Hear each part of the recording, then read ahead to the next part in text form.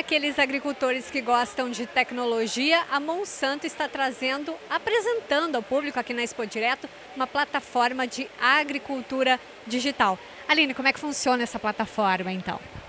A plataforma Climate Field View é uma plataforma de agricultura digital que permite o agricultor reunir todas as informações que ele tem das operações agrícolas dele, então todos os mapas de plantio, de colheita, de manejo, ele consegue reunir num só lugar e ele faz a tomada de decisão, ele consegue analisar todos esses dados para facilitar a tomada de decisão no dia a dia dele. O que a gente pode ressaltar desses dados?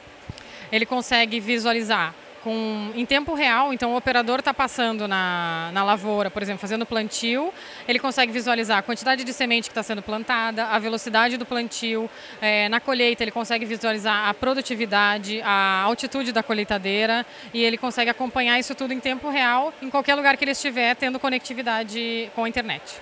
É, tanto faz smartphone, computador, tablet, qualquer plataforma com internet. Isso, exatamente. Ele consegue acessar esses relatórios em qualquer plataforma. Dentro do, do equipamento, a gente tem que ter um iPad e o Drive é, de coleta de dados, mas a, a visualização da, dos relatórios e dos dados ele consegue visualizar em qualquer lugar. E como que essa plataforma é adaptada? É dentro da colheitadeira, tipo um display? Isso, é um dispositivo que é esse drive, que ele conecta na porta Isobus da máquina e ele coleta todas as informações que os sensores das máquinas é, disponibilizam. E através dessas, dessas informações, por Bluetooth, ele disponibiliza a, os mapas em tempo real no iPad que fica dentro da máquina. Então, esse, esses dados são gerados em tempo real e o mapa vai sendo pintado ao longo do, da operação. Já tem ideia de lançamento?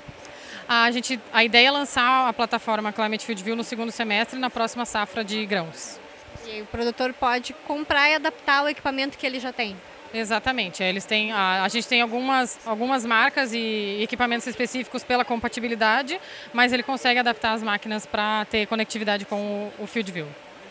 Obrigada, Aline. Nada.